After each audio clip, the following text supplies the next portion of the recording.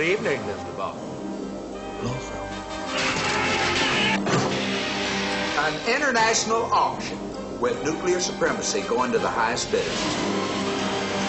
How far does your expertise extend into the field of diamonds?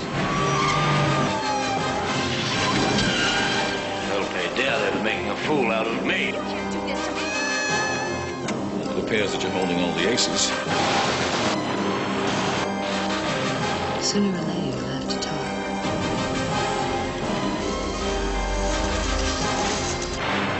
Welcome to hell, Blofeld.